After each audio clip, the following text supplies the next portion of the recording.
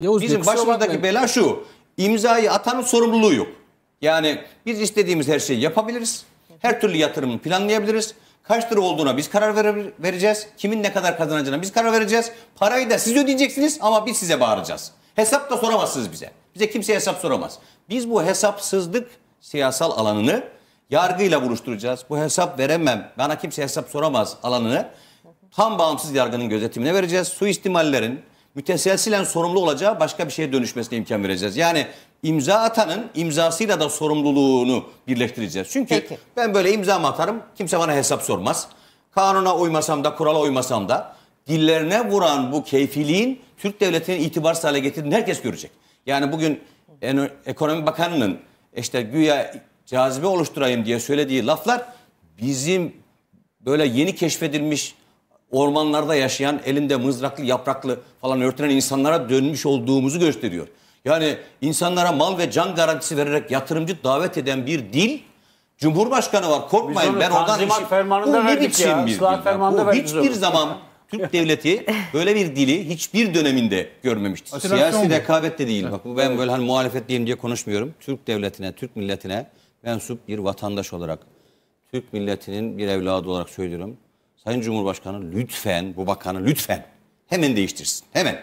Yani bize bize muhalefet olarak baksak bizim hükümeti tenkit etmemiz için pek çok lüzumsuz malzeme veriyor bize. Ama biz böyle bir şeyle siyaset yapmaktansa Türk devletinin bu kadar itibarsız hale gelmesine sebep olan böyle münasebetsiz cümlelerle siyasi avantaj kollamaktan hayal ederiz.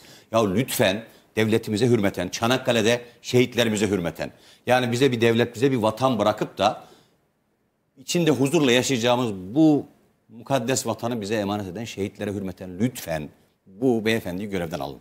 Yani bu bu hezeyanlara dayanamaz. Türk devletinin itibarı böyle yatırımcı çekeceğim diye. Bu söze mi takıldınız siz bu, Bey? Ben bu kurgunun, bu kurgu şu anda gördüğünüz kurgu dünyanın pandemi şartlarının bizim ülkemizde çok hissedildiği, enflasyonun dayanılmaz hadlere geldiği, geçim zorluğunun bu kadar hissedilir hale gelmesine sebep olan iktisadi savrulmadan bizi kurtarsın diye getirilen bir adamın yani Türkler sıkıştılar, Türk hükümeti sıkıştı, Türk devletine yeniden toparlanması var diye bir irade koydular. Bir takım modeller de getirdiler. Bizi kurtaracak diye hükümetin seçtiği adamın bu kadar üslupsuz olması bizim de aslında millet olarak büyüklüğümüzü halel getirir.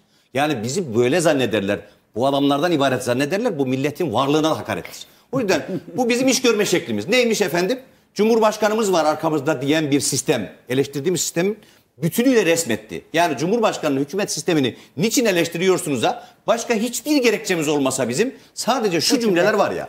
Bürokrasiyi alaşağı ederiz. Arkamızda Cumhurbaşkanı var. Canınız malınız bizden sorulur. Gerekirse biz her şeyi yaparız. Bu Cumhurbaşkanlığı hükümet sistemi diye tecrübe ettiğimiz sistemin ne kadar kontrolsüz, kuralsız, kaidesiz, geleneksiz, teamülsüz olduğunun en bariz Ayrıca örneği. da şöyle bir söyleniyor, şey yorumlanıyor. Böyle münasebetsiz bir olur Olur mu? da gelecek olan yatırımcı var idiyse bile 3-5 tane bu Asla sözün üzerine onlar da Asla gelmez, gelmez, diyorlar. gelinmez. Bilmiyorum.